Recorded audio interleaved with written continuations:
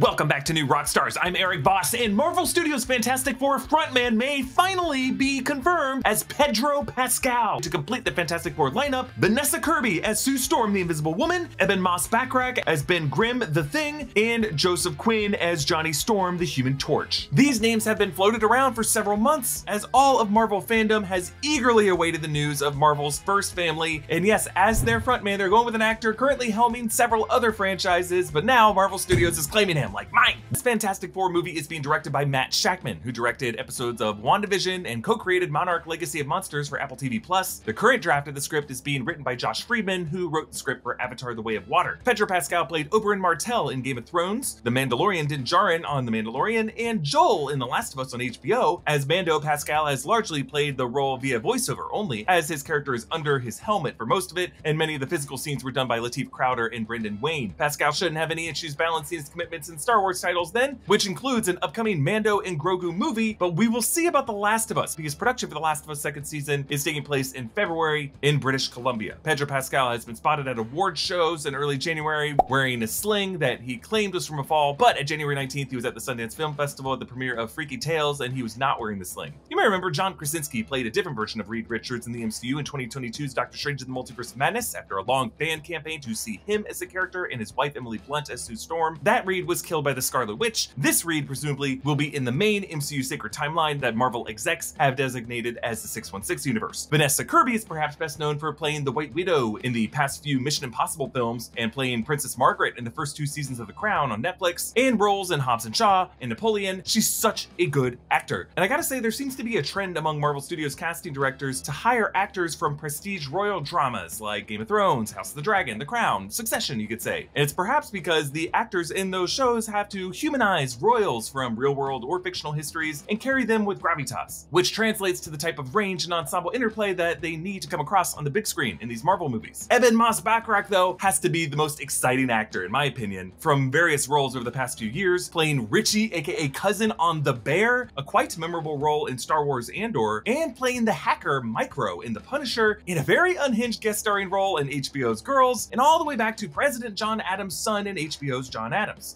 Moss-Bachrach's role as Micro in Punisher is now interesting because Marvel Studios recently confirmed the Marvel Netflix series, including Daredevil, Punisher, Defenders, Jessica Jones, Luke Cage, and Iron Fist, all to be canon to the MCU continuity. But Moss-Bachrach wouldn't be the first overlap of this kind. Mahershala Ali played Cornell Stokes in Luke Cage, and now he's playing Blade. Alfre Woodard played Mariah Dillard in Luke Cage, and she played the grieving mother Miriam Sharp in Captain America Civil War. Gemma Chan and Michelle Yeoh have both played multiple MCU characters. Martin Starr played roles in both the 2008 Incredible Hulk film and Peter Parker's teacher in the MCU Spider-Man films, and he was actually later confirmed to be the same character. And Joseph Quinn recently delighted us as Eddie Munson in season four of Stranger Things, but over the years, he's had roles in Game of Thrones, in the Catherine the Great miniseries, and in 2024 will appear in A Quiet Place Day 1 and Gladiator 2. So, a bit of background, the Fantastic Four is of course the team that established Marvel Comics as the solid brand that it is. Created in 1961 by Stan Lee and Jack Kirby, bringing in a new tone of realism and family dynamics to the medium of comics. Because until the Fantastic Four, superheroes weren't really in teams. The Fantastic Four was the first time Marvel heroes came together to form a team. A failed space mission left these four with unique powers. Their arch villain is Dr. Victor Von Doom, a college colleague of Reed Richards and Ben Grimm, and a mastermind from Latveria who becomes the greatest of all time in science and magic. They've also faced various time-traveling entities known as Kang the Conqueror, who first appeared to them as Pharaoh Ramatut in ancient Egypt. They faced Galactus, Devourer of Worlds, a cosmic entity who feasts on planets by consuming their energy. His herald is, of course, the Silver Surfer. The team is led by Reed Richards, Mr. Fantastic, the smartest scientist alive with the power of elasticity, Susan Storm, the Invisible Woman, Reed's girlfriend and eventual wife, Susan's brother Johnny Storm, the Human Torch, who can flame on and fly, and Ben Grimm, the Thing. It's clobbering time! Reed's college roommate and best friend, transformed into an orange rock-like humanoid with super strength. Thank you to BetterHelp for sponsoring this video. We've all got goals, better work-life balance, stress management, being more optimistic, but figuring out how to tackle big goals like that on your own can be difficult. Connecting with a licensed therapist through BetterHelp can help. BetterHelp makes starting therapy easier and less intimidating for a lot of people. The right therapist for you might not be in your area, and some people struggle with the face-to-face interaction of therapy. With BetterHelp, you can have your therapy sessions as a phone call, as a video chat, or even via instant message, whatever's the most comfortable version for you. BetterHelp has over 30,000 therapists in their network to choose from. To get started, you simply fill out the questionnaire that will ask you about what challenges you're going through and what kind of therapist you'd like. Then BetterHelp will match you with a therapist and in most cases it'll take less than 48 hours. Schedule therapy sessions at a time that's convenient for you, and if for any reason you feel like your therapist is not a great fit, you can switch therapists with a click of the button at no additional cost. Join over 4 million people who have used BetterHelp to start living a healthier, happier life. Click the link in the description or visit betterhelp.com slash new.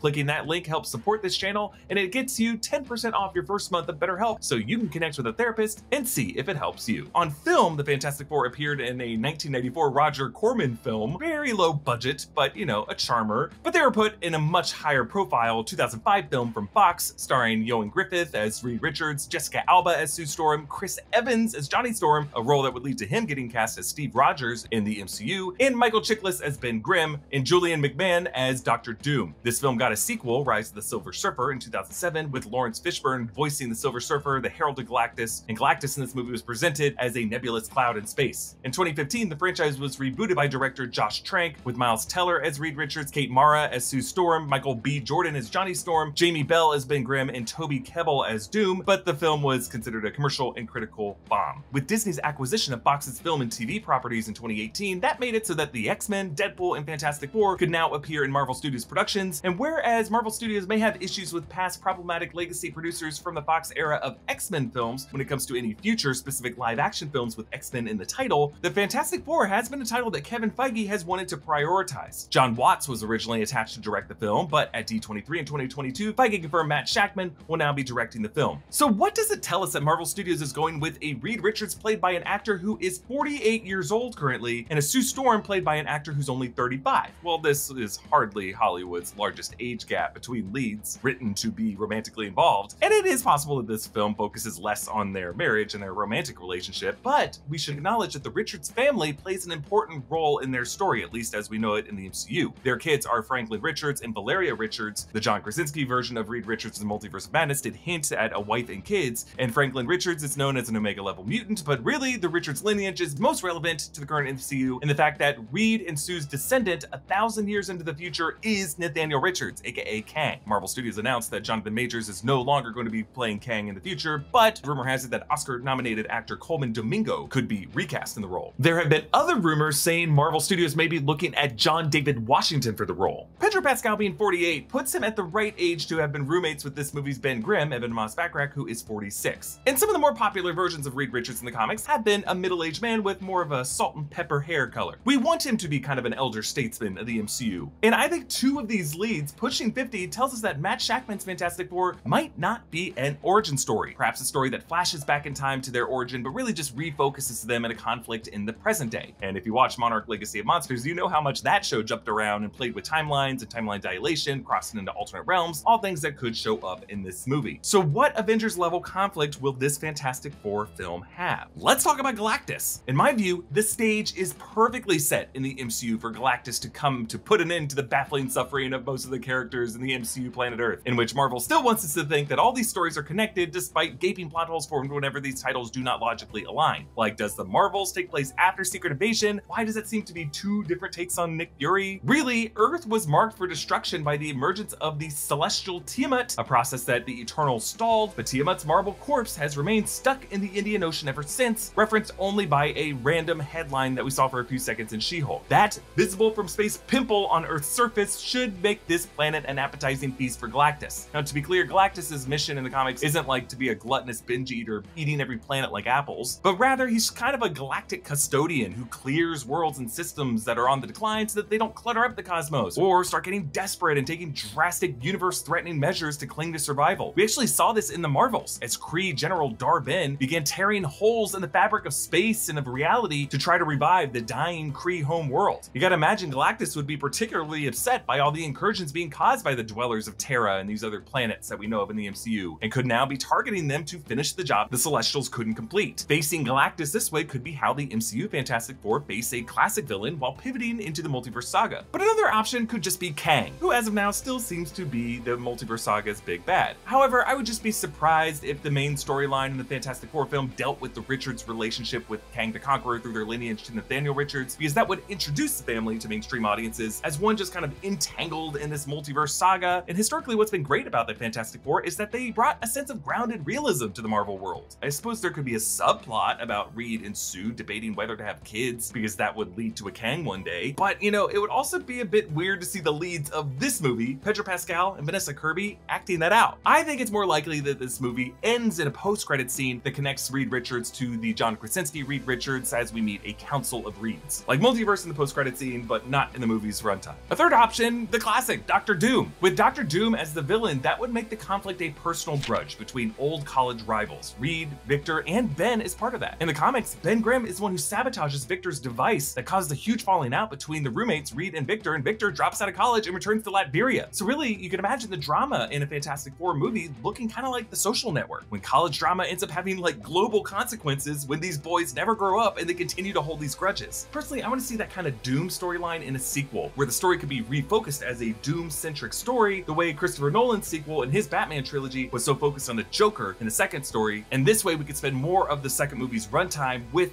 the Doom character without needing to spend as much time on the main four. Look, we're gonna learn more about the Fantastic Four in the days ahead, but if this does get confirmed on Valentine's Day, the following day, February 15th, New Rockstars' live show will be happening in West Hollywood, and it's gonna be the best place to come hang out with us and talk about this insane news. Tickets are still available from the link in the description. Subscribe to all three channels of the New Rockstars Network. I'm Erik Voss. Thanks for watching, and I'll see you next time. Bye.